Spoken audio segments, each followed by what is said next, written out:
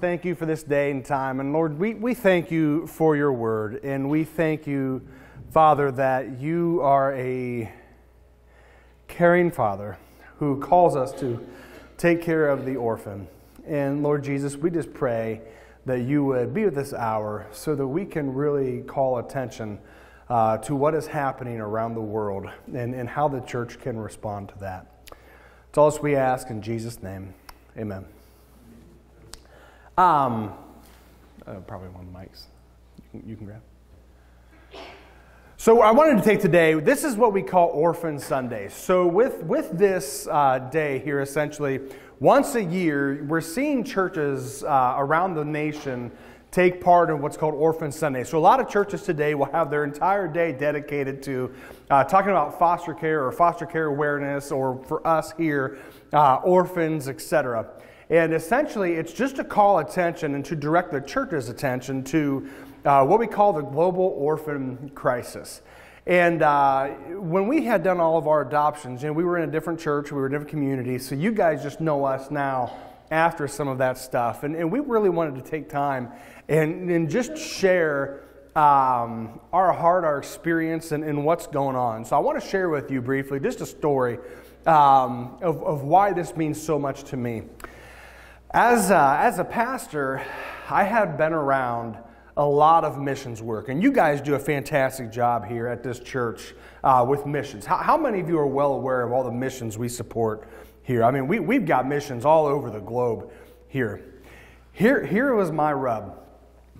I was adopted in 1980, uh, and, and I, was, I was adopted in Tuscarawas County, Ohio, and grew up with a wonderful family, had a great life, and, and everything there. Adoption was always something that meant a lot to me because it was personal. The only reason I really cared about adoption was because I was adopted and, and my family was fantastic and I wanted that experience for somebody else. But lo and behold, like I, I really did not have much more to go off of than that.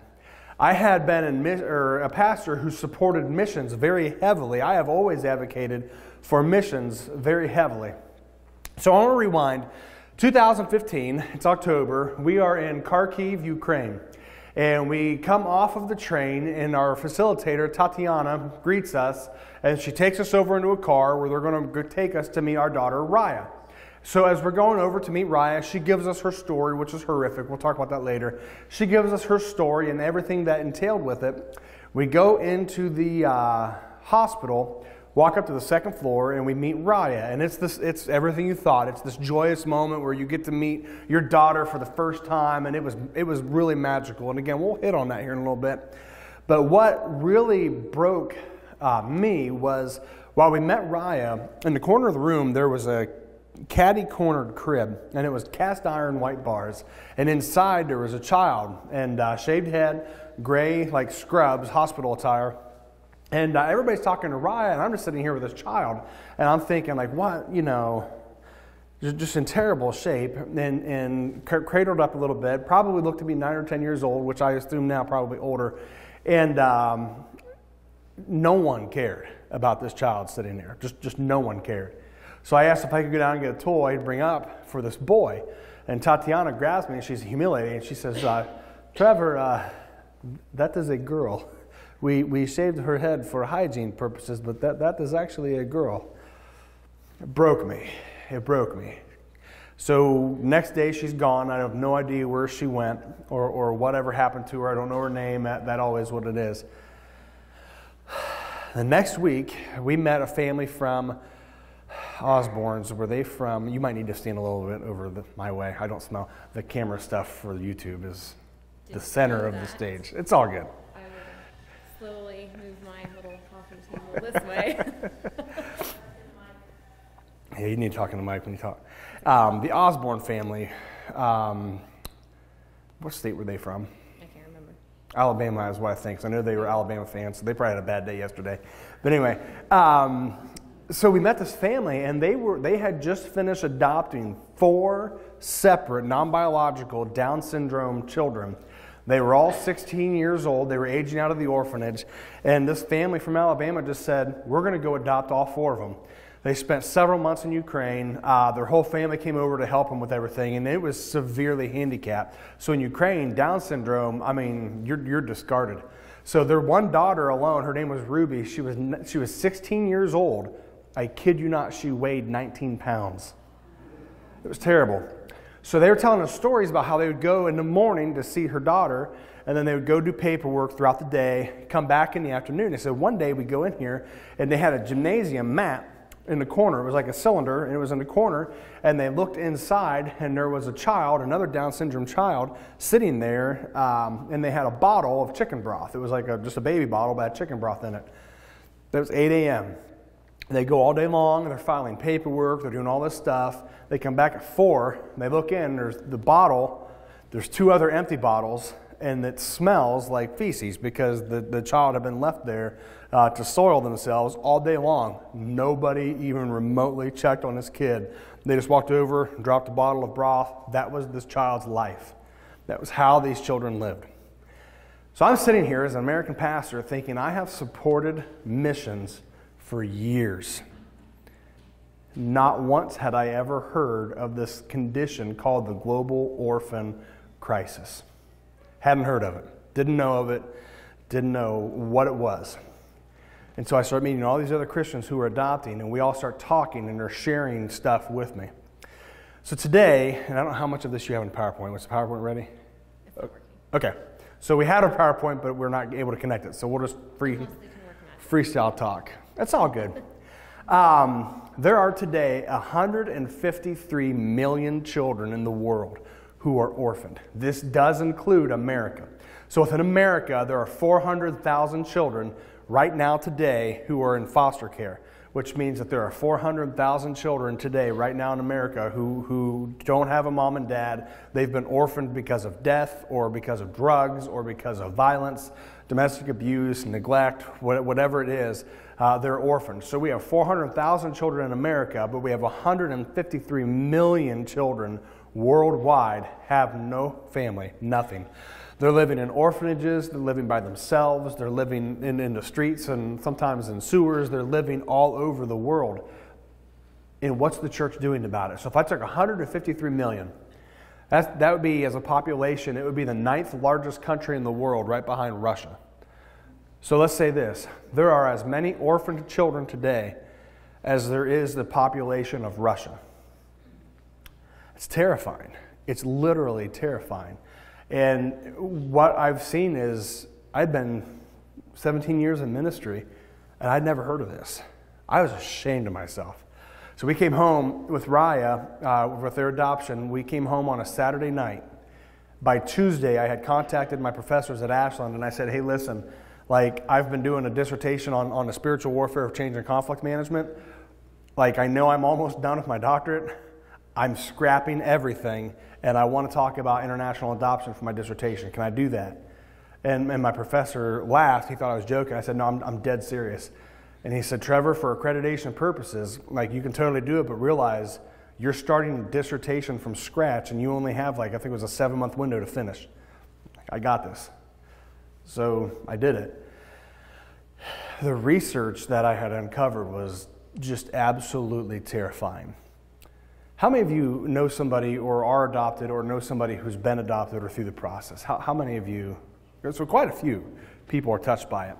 One of the things I uncovered was about a million people a year um, are touched by adoption in America. So, if our population in America is about 322 million people, 323 million, somewhere around there, only 1 million people a year are touched by adoption. Here's how we come up with that number there are approximately 130,000 adoptions a year in America. So there are 130 ish thousand children who are adopted. About 4,500 of them are from overseas.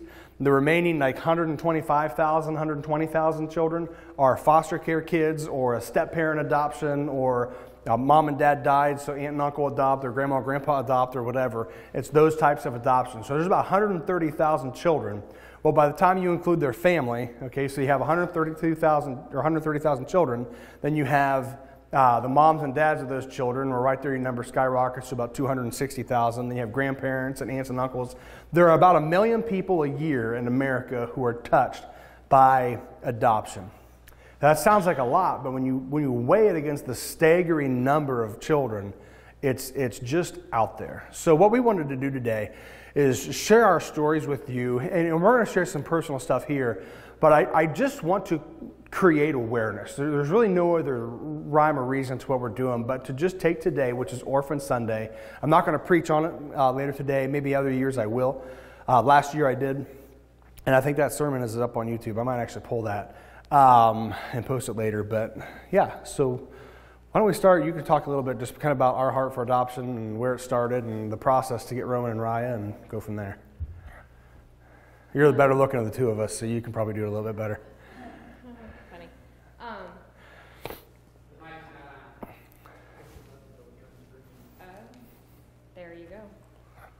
Um, okay, so this is unprompted, and we did not plan what we were going to say. So Well, you did, but the PowerPoint was out. that's okay. Um, Technical difficulties. I think like we both kind of walked through the awareness of adoption kind of in different ways. And I remember, you know, my perception of what, um, like, what the global orphan crisis was used to look a certain way in my mind.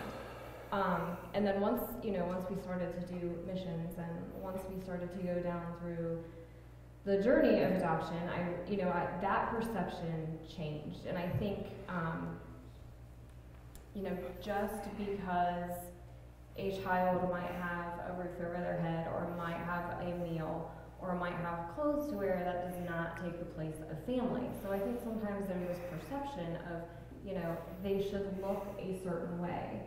And that's, that wasn't, you know, that's not the case. And I think sometimes th- there's this awareness that's raised with certain images that kind of get, you know, placed in our mind. Um, so for, you know, from, from my journey and, and going into the awareness of raising awareness for adoption is it doesn't, you know, it can look so many different ways. Let, us talk for a minute there. You, you just hit on something I think is very important is the, the concept of family.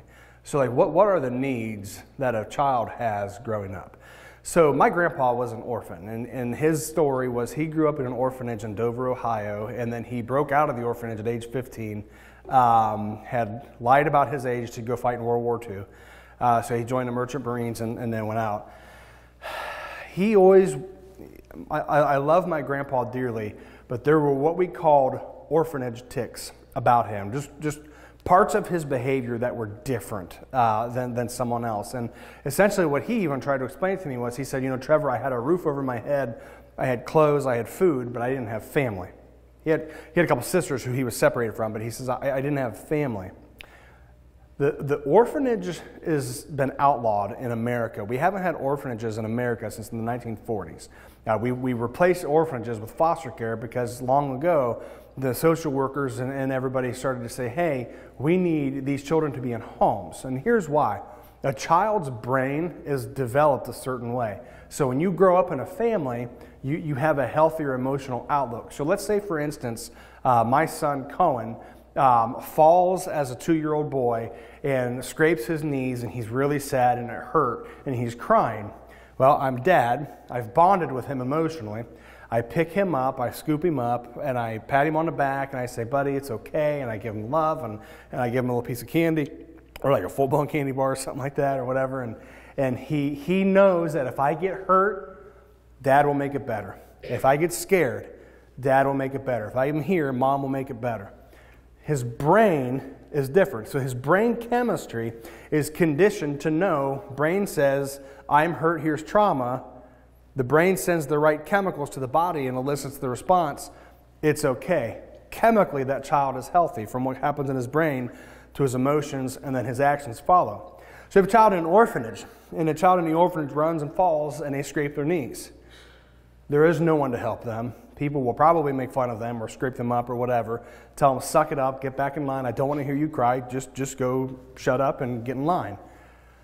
That sends a message from their brain chemically here, and it messes with the child's fight or flight mechanisms, and it's different. So, our child Roman, you've seen little Roman running around the halls. He's probably almost knocked one of you over a time or two. I'm super sorry about that, by the way. So, before the, uh, we brought Roman home, he spent three and a half years in an orphanage. So we get him home, and it's time to get his cochlear implants and everything ready. So we go to the hospital. But part of the getting a cochlear implant is you have to have an MRI. So I take him in, and we get an MRI, and we had to sedate him for it. And uh, we bring him out, and he's coming to. And the doctor comes in the room and he says, Hey, uh, everything looks good for the cochlear, so there's no reason for alarm with that.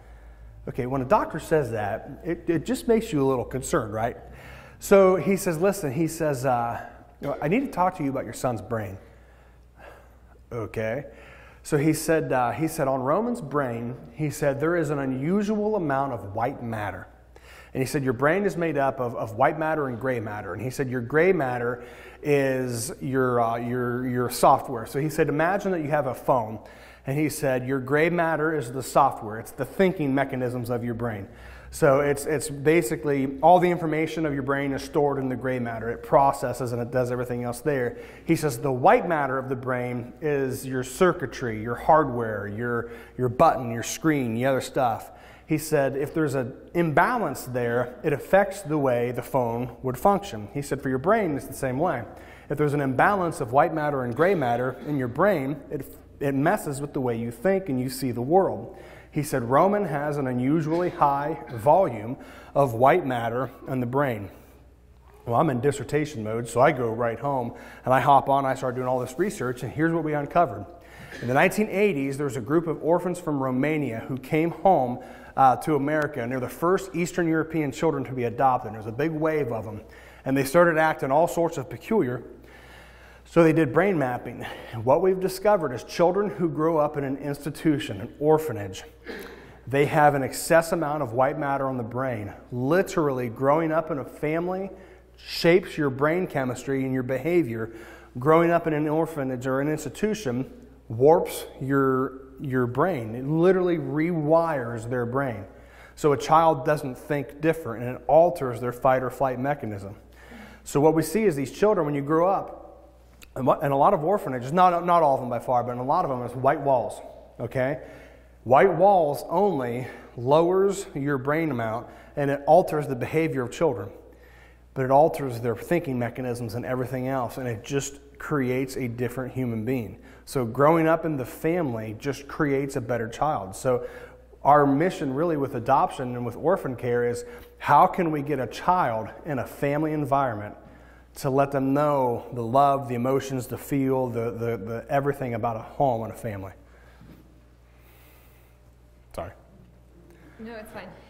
He's the one that talks the most. I haven't gathered that. Um, to add to add to that, um, you know, when you bring a child, when we when we brought our children home, uh, Raya and Roman, Roman was probably the most challenging mm-hmm. to watch transition into a family setting because not only could he not hear, he couldn't communicate, and he really did not like me.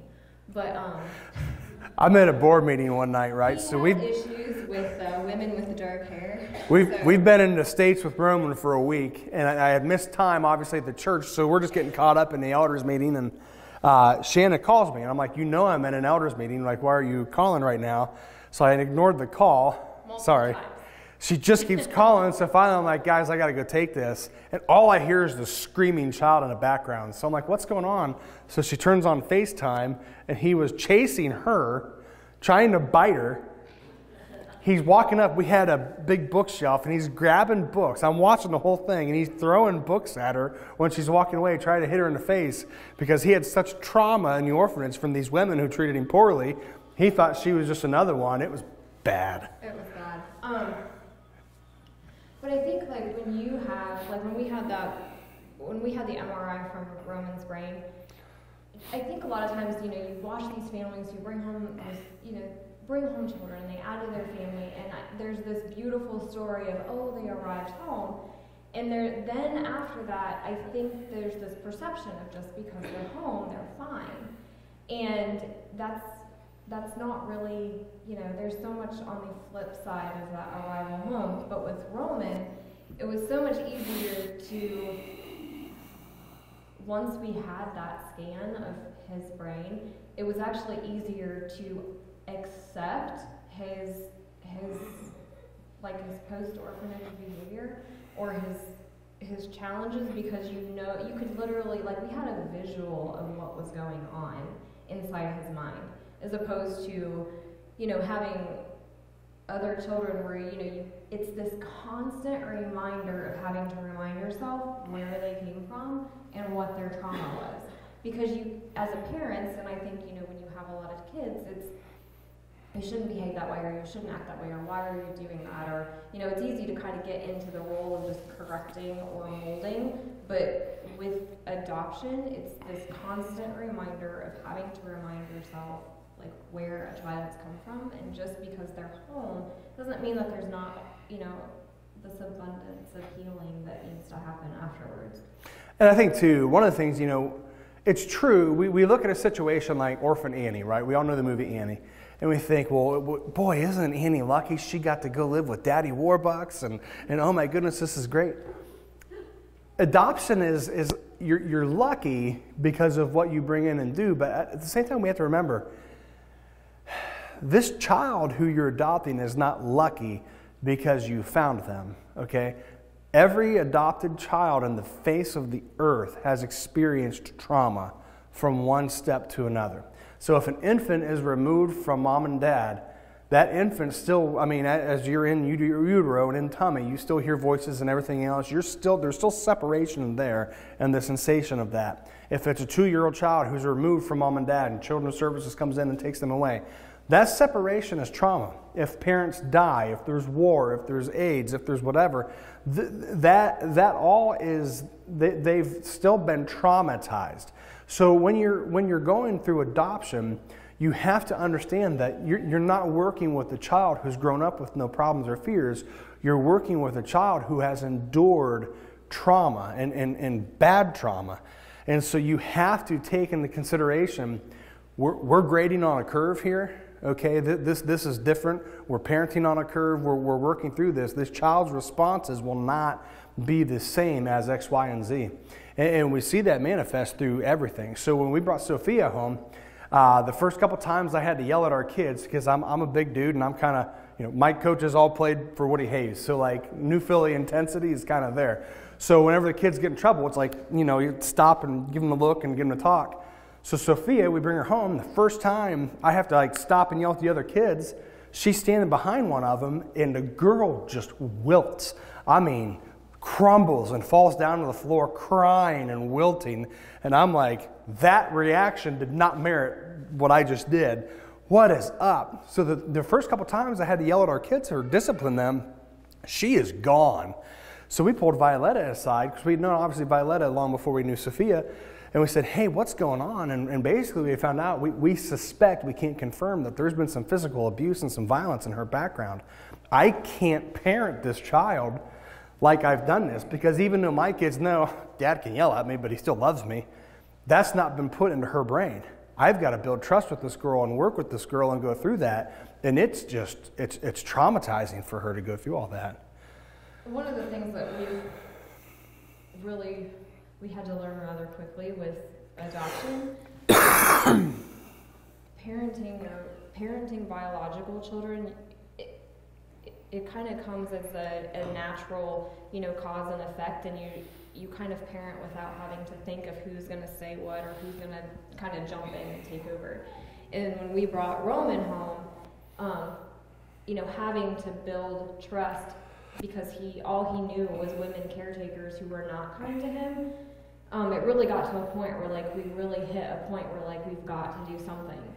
Um, so we switched roles.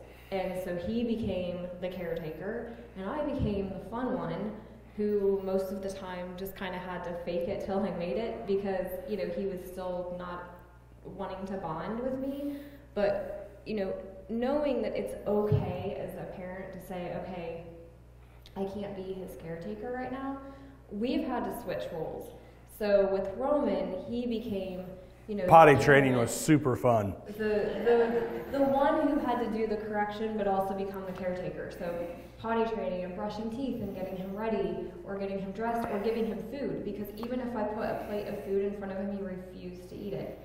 And so Trevor would come home because he was. He would literally for Shanna, he would like throw his plate. He, he would. He would like she'd have the food there and he'd smack the plate out of the way and get food all over the floor and And he everything. would And, walk in the door, and all of a sudden he would turn into this angel child. Daddy. And I'm like, what in the world is going on? But even with Sophia, like at first we kind of, you know, I could correct her a lot more sternly, and she was more, she was okay with that versus him not so much. So we've had to learn, you know, with parenting and, and adoption and trauma that it's you have to parent in ways that may not feel normal or natural. and with, with Roman, there was actually time, and this goes back to the brain chemistry and rewiring it. He was three and a half years old when we adopted him, but because of the deafness, they had him with the infants. So he acted very infantile with, with many of his behaviors. Well, the social worker came in to check on us because there's always like a couple, like a month follow up or something like, that. Post adoption. Well, she's hearing all of this stuff, and she says, Trevor, she says, you have to cradle him like a baby. I'm like, this kid's three and a half years old. She said, no one ever did it before, Trevor. You have to hold him like a baby and literally feed him with a bottle or a sippy cup or something. I'm like, are you serious? She says, yeah, I'm serious. This is, this is getting weird. Man, sure enough, so I get him, and uh, he had a little sippy cup. And I cradled him up. I mean, this three and a half kid, and I'm rocking him like a baby and patting his back, and he has a sippy. I mean, the kid just melted, and you could just tell he had never had that. So with Roman, there were sensory issues. Yeah, he was the um, like physical touch, like to hold him or hug him. Um, he was very non-receptive to that. Like he was very stiff and Almost numb. Yeah. So sensory stuff with, with a child is pretty much like if I have a baby and I'm rocking a baby, even as young as that baby might be, they, they feel the warmth and the cradling and the protection of being cradled and loved. And then a child will feel right. So they feel pain, they feel pleasure, they feel certain fabrics and textures and everything else there. So these children who are orphaned, then they're this crib babies. So I feed you, I put you in a crib, and no one really holds you. They have really bad sensory stuff. So Roman would fall and just get hurt. And I don't think he felt pain. For the longest time, he didn't feel pain. And so we had to rewire the sensory by, by me cradling him and doing some of that. He, you, you might notice when he's running down the hall, he has this very large scar on the back of his head.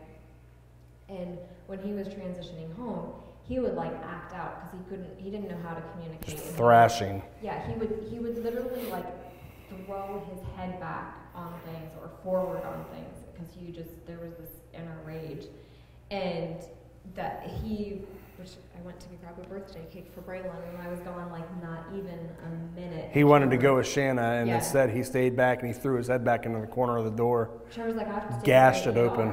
And I'm like, I just left the house. What happened? And you know, the, but his response to that wasn't, you know, like if if Kira would have done it or Brielle would have done it. You know, when He- he, would hurt himself, it's like, He hit his head, then he just got up and walked away.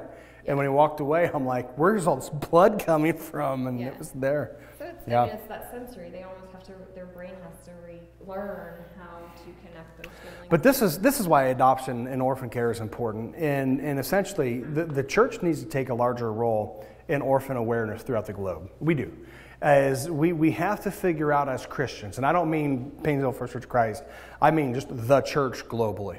We have to figure out a way to bring awareness. Scripture tells us to take care of orphans. Widows and orphans are the work of the church. Okay, we have to be doing this work as Christian people. We just have to. Adoption itself is foundational to Christianity. So, part of my research for my dissertation is a doctor of ministry. So, there's a biblical piece of adoption we had had. And one of the things that I've uncovered is adoption is foundational doctrine of, of Scripture, like cover to cover. Adoption is huge. Grace, meaning that you and I have been saved by grace, we have been adopted into the family of God. You understand that? So, so we, like every other orphan here, our name has been changed and Christ covers us. So this is a huge theological piece of, of our faith. So doing it and being involved in that world is just acting that out. But there's some things to consider. Biblically, Moses was what we know as our first international adoption of Scripture that we see. He is adopted by this Egyptian family. It's a bad experience for him, and, and a lot of awful things happen. Later on, Samuel his biological mother and father turn him over to Eli the priest, and we see that there. Esther uh, has a relative adopt her. Jesus is raised by Joseph, his stepfather. Paul, the apostle, he's not necessarily adopted, but as a teenager, he's relocated from one country to another and placed under the guidance and guardianship of another man, Gamaliel, who grows him up. Adoption and orphan care is something we see cover to cover in Scripture.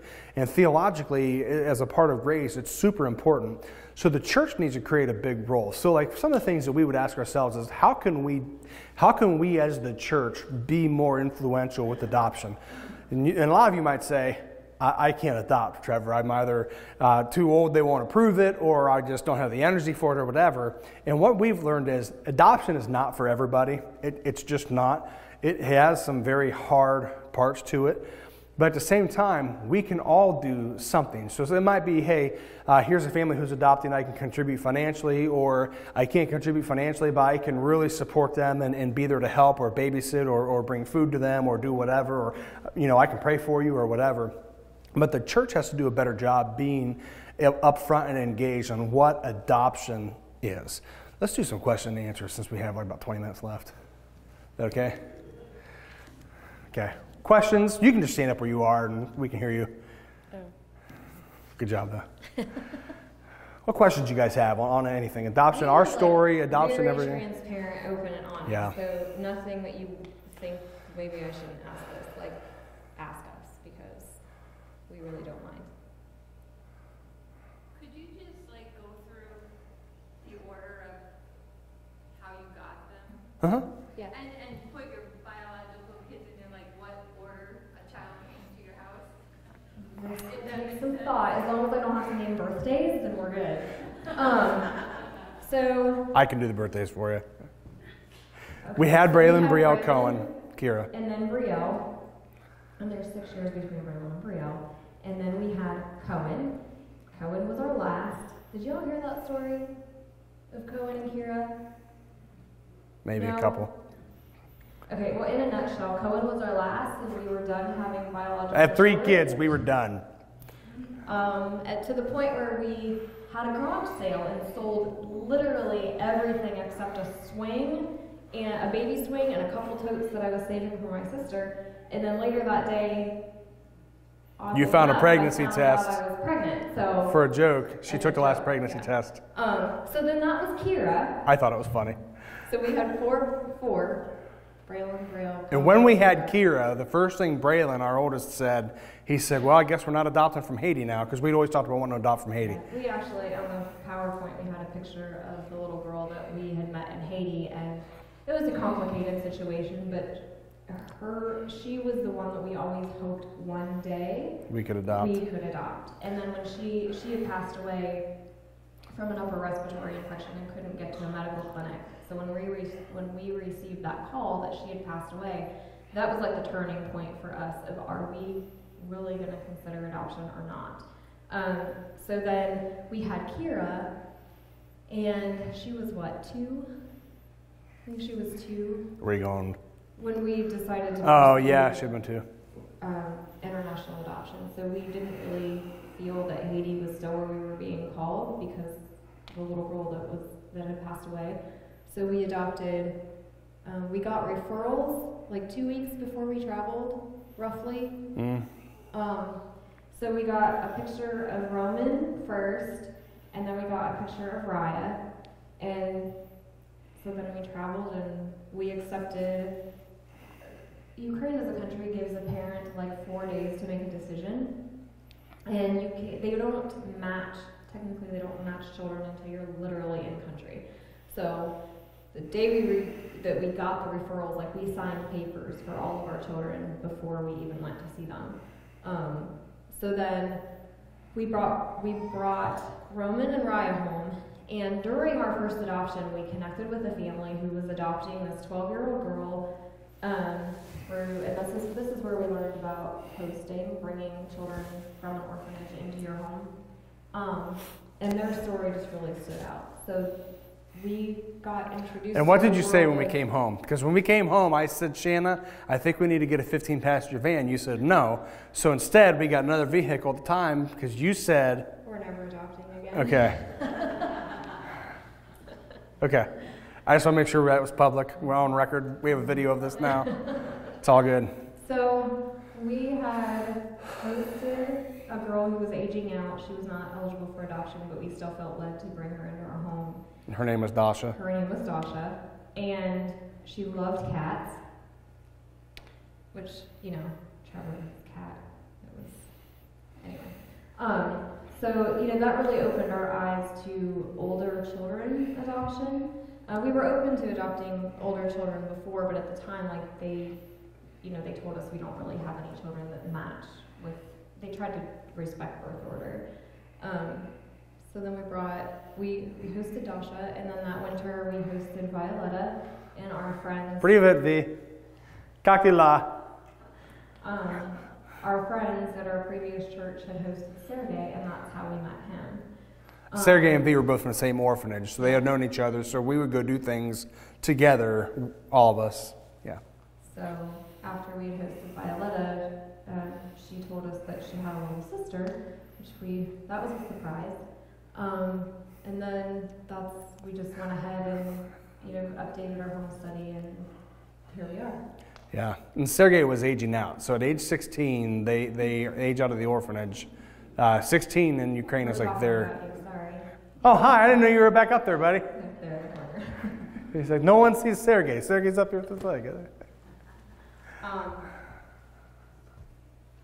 So that's it. I mean, we went over there, and uh, first adoption was in 2015.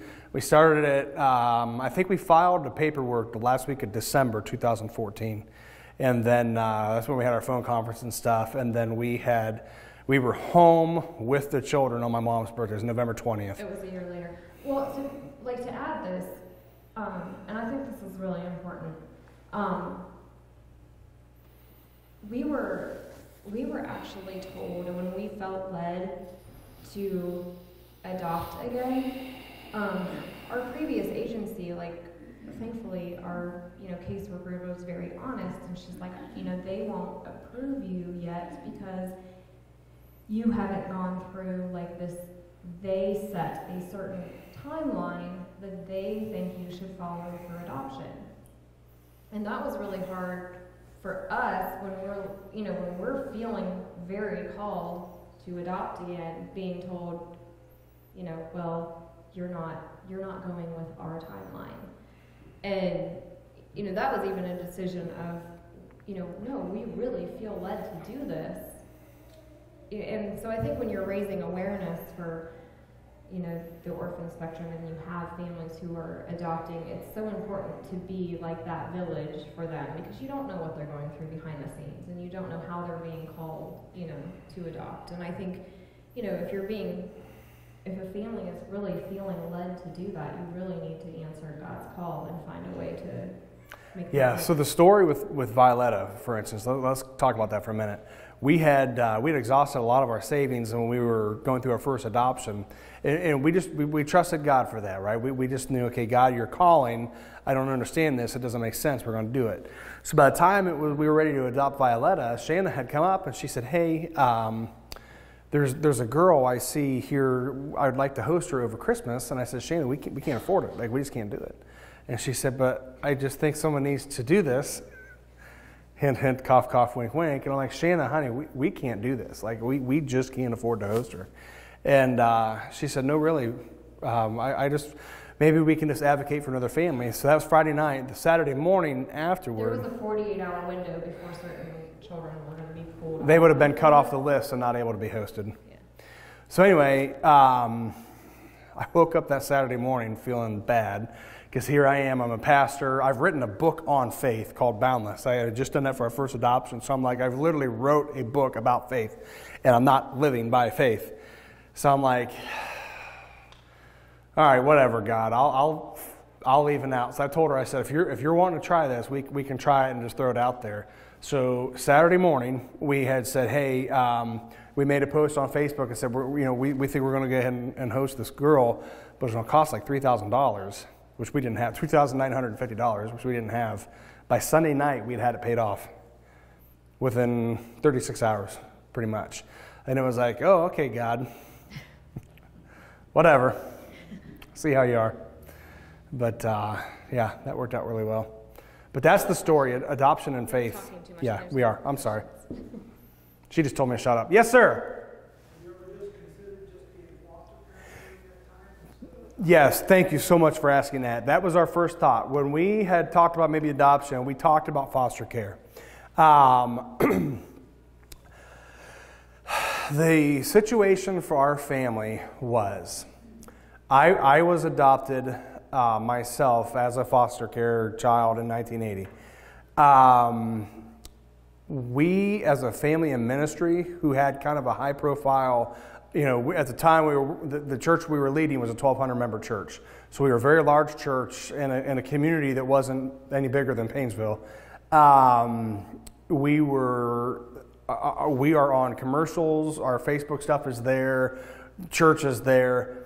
The, the likelihood of us running into a biological member of that child's family and having a very serious confrontation was very high for us. And in my personal situation, i uh, with, with my adoption, that actually happened to me. Uh, where, where down the road, some family members came out, started threatening my parents and myself and some other stuff. And we just thought as a family, um, Foster care is for certain, I mean, it, some people might say, hey, I'm called to foster care. Some people might say, hey, I'm called to, to orphans abroad in, instead of that. Uh, for us, that was why we went the road we did. For another family, they might say, I ain't touching the international thing with a 10 foot pole, but I want to go through foster care. We've, we've worked with both. Uh, I have a cousin who adopted through foster care, uh, two great kids. Um, that was just kind of our situation there. And I think the other thing for us, it is. It's, I think it's different for everybody. There's this, there is a transitional period that is very sacred and, and also intense, though, for children who are already in a family.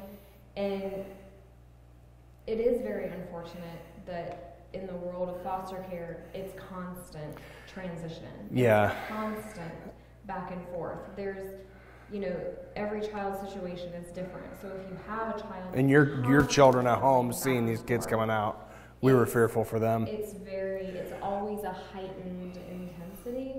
Um, so that was another reason. Why. And I will say this: we actually did do foster care just for one summer. We did it last year. We, we had a boy with us for the summer, and uh, it was rough. Um, and, and, it wasn't that it was good or bad or indifferent. It was just that. Um, as a, as a family who cares for children, you have to really be open and honest with your skill set.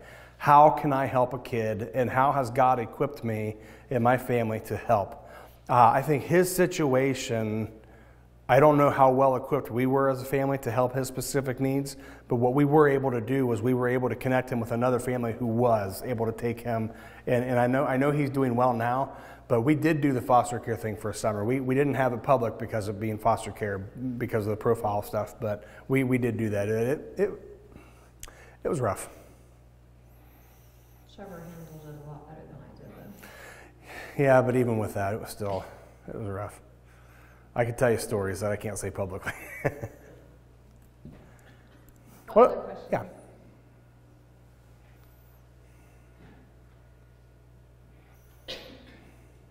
No other questions on anything?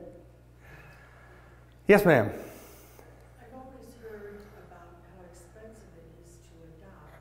Yes. And I guess my curiosity got the best of me when I knew a minister whose wife had adopted five children. It's like, on a minister's income, how do you afford that? Yeah.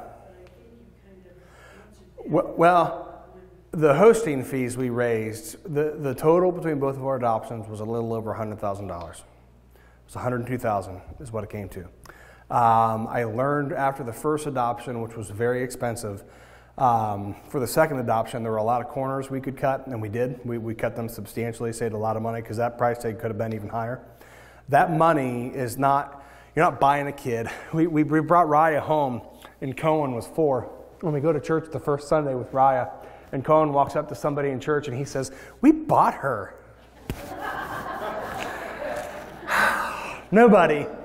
You know, it's uh, you got to pay money, a couple thousand dollars for your home study, and then you got to translate all of that and create what's called a dossier, and that's I think it's like thirty five hundred bucks, and then you have an adoption fee and their agency because their full time job is helping families. They get they got food they have to eat for their families too, so there's fees there, and then there's airfare, lodging, in country adoption fees. It adds up.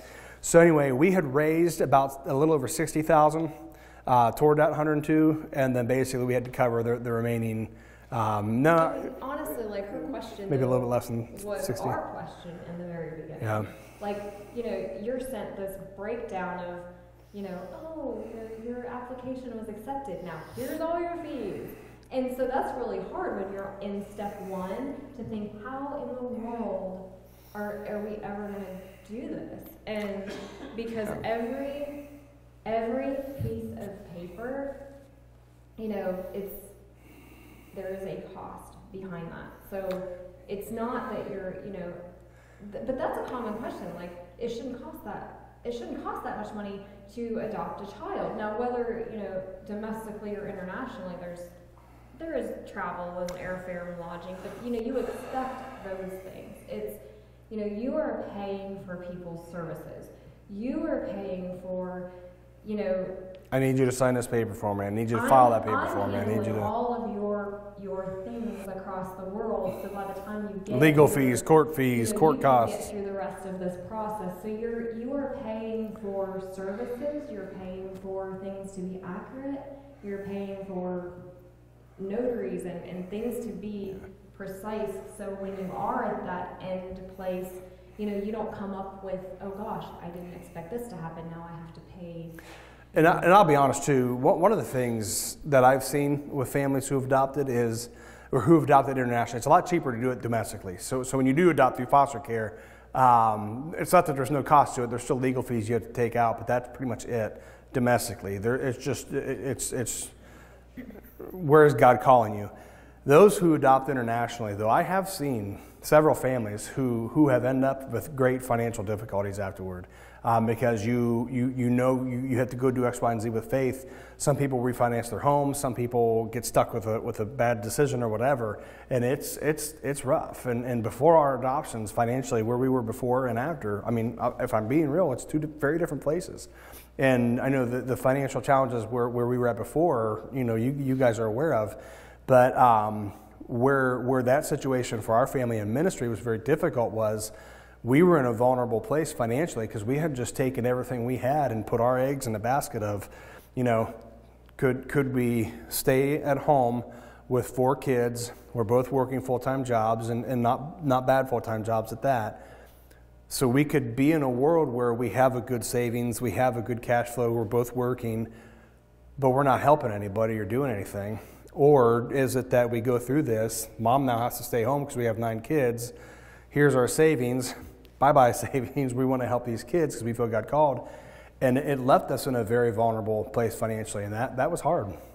both of our adoption processes though were we were they both were different like our Yes. first adoption was you know this this step of faith of like if we're talking about it but we're not acting on it is that okay is that okay to you know talk about global orphan crisis and you know you should do something but we're not actually taking any steps to do that so you know the whole boundless faith that we walked through and then our second was more of an, of an act of obedience. God is God calls us to do this.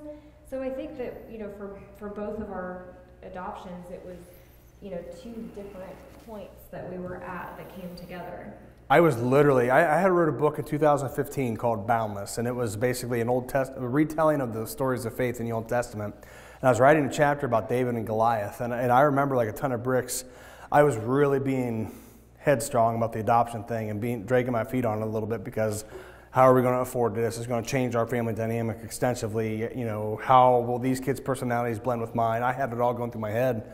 I remember uh, it was as if I, it was the loudest I think I've ever heard God speak, saying, "You're writing a book about faith right now, David and Goliath, mind you. And what are you doing to back this up?" And I remember setting my computer aside and just thinking, "You're killing me." but that, that was where it all started for me. So, like the theme for our first adoption was boundless. It was uh, how far on faith are we willing to go, even if it hurts, because faith will hurt. We probably have maybe time for one or two more questions if you want.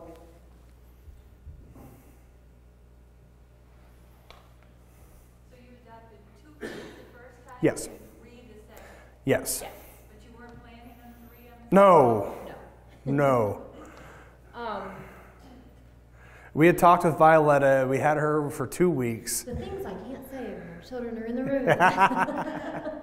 No, we had talked with Violetta, and, and she wanted a family, and, and we had talked about her, and, and her and I had a really good chemistry up front, too. So I love her to death. Okay. And I would say that if you were in the room. real, real quick though, like when we got to the point where, where we knew for sure we we definitely want to adopt Violetta and her little sister, and we want them to be part of our family. Sarah was was aging out, and we knew that because we spent time with him, I actually spent more time with him than Trevor did. Um, so we had we our home study was almost finalized. Like we were literally waiting for like a signature. And you know, Trevor came to me and he's like, you know, I kind of feel God saying that we need to get approved for three kids, like just in case, because we our first adoption we were in country and um, there was a, a another child that had we been approved for you know an additional child, we probably would have pursued that child. He Andre. Yeah. Yep.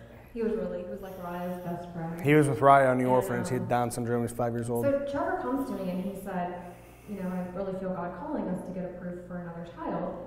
And it, it took me, I remember I was sitting in a little cafe while Brielle was at a birthday party, painting party, and I called him on the, on the phone. And I said, hey, God's really putting this on my heart. I just don't know what you're going to think about it. And I was really hoping that, you know, I felt God saying that we needed we needed to ask Sarah to be part of our family too. So that's that's how like you know I I said okay you told me this and now I'm going to tell you what God's been telling me. So you know it was this that's how that came together of, of how we ended up with you know three kids bringing home. God was working with both of us in different ways and then just brought that together. And And they're awesome. I, I cannot Yeah, imagine our life. I cannot imagine our life without Sergey, even with your blown out knee. So our joke is pretty much that Sergey and I like are long lost biological father son somehow because all of my physical ailments have now gone on to him in the second generation.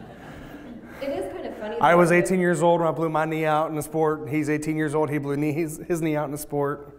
I think It is what it is. such a how God knits families together. When you were living it firsthand, and you you you can witness like, oh my gosh, you know this child has these similarities and these you know traits and these mannerisms that are so much like their parent that you know that they now have, and so yes, we kind of joke that we think. And Violetta and Sergey, or Violetta and Sophia have my blue eyes. Yeah, It's all good. Yeah, I cannot. I can't. I can't. You can have- claim Raya. I can't have girls that look like me. They all come out and they look like him. Even our adopted ones look like me. Yeah. But no, I would just encourage you guys, uh, just keep keep an eye out and just really ask yourself and pray through um, how, how can God use you uh, toward the plight of the orphans. And, and that would really be it, is, is just to pray for people, to pray for families, uh, network, all that stuff there. There's just so many different ways to do it. But I would just say, just, just ask God, to, how, how, can you, how can you help with the orphan crisis? That's it. Yeah, I think for us, you know, we had a handful of people. I had a, a friend who our first adoption. Um, you know, she reached out to me and she said, "I, I can't help you. I can't support you. I have no money, you know, to, to help with this. But this really, you know, she she was like my prayer warrior, and I knew without a doubt that if I asked her, "Will you please pray about this?" because this is a challenge that we had. Like, she was literally. Did you just hit yourself in the face with the mic? No, it wasn't. Oh, it looked like you hit the No, that Okay. Okay. Um, Not awkward at all.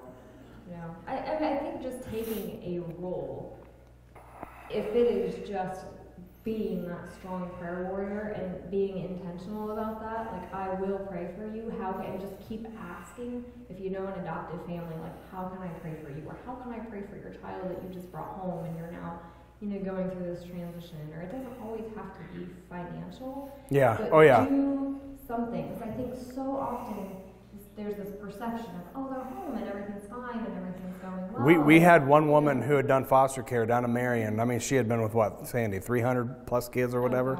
She Yeah. literally comes in one time to our house, and she Shanna's stubborn, but Sandy out stubborn Shanna, and she said, "Listen, I'm doing your laundry." She's like, She "I'm taking it." up and just take it, and I'm like, no, no, no, no, no. no So she makes us take a bunch of trash bags, put all of our clothes in this. She had an industrial washer at her house. She takes it all down there and did every garment of clothing. Some of them maybe she shouldn't have saw. she even had these like these tips of you know when she's you know parented multiple children over so many years. Like there's things it's like Yeah, it was oh, 300 I plus foster kids she I had. never would have thought about that. Like I will try that. Mhm. So you know I think sometimes it's Cooking ad- meals Yeah, and- giving advice though to parents who if you've not parented a, a child from trauma, sometimes the normal common sense things doesn't really work so much. But Yeah. I th- you know, when it comes to advocating and raising awareness, that is advocate, raise awareness. Be an encourager, be that supportive person where, you know, I know it's hard, I know you probably, because you do, you feel like you are literally walking through this whole journey alone, and your biggest supportive people become people who aren't in your community, who aren't in your family, who aren't necessarily even in your church because they don't understand there's this solitary There is a specific type of anxiety, fear, and emotion that comes over you in the process, and it's it's hard to you feel explain. lonely. But It's like the only people who actually get it are the people who are actually doing it. And so I think it's very important not only to be aware and not only to raise awareness, but to be an encourager and someone who will pray for them or just, you know, find a way to, if you know an adoptive family who's going through that, find some way to be active in their life because they feel alone and they may not want to talk about it. They may not want to share what they're going through because they know you won't understand. But even just to be that person, you know, to, to be present in their life is very important. We should pray. I guess church is going to start in a little bit. I got a mic. Oh yeah, sorry. All right, guys, thank you very much. I really appreciate your time this morning. I just, like I said, I just want to take time today, with it being Orphan Sunday, and just as a church talk, because we, you, I don't know how much you knew about our situation or not, but uh, just our heart and how we got there and everything else there. If you ever have any other questions, let us know. So let's pray. Heavenly Father, we just thank you uh, for this day and time. And Lord, I pray that you would uh, just continue to watch over us and as a church and, and the kids, and now as, as, as these orphans and, and, and children around the world need homes. We just pray that you would help lead them to families. And Father, our adoptive family now kind of comes together with Painesville Church, and we're all a big family here and, and family in Christ. And so now you have all of us together. So, Lord, you have a work and role uh, for adoption and orphan care somehow through this church. And we just pray that you would continue to use our church together now as, as we all have blended together uh, to do something for, for the orphans as well. And Lord, we just pray that you would just continue to bless and thrive. And so we ask in Jesus' name. Amen.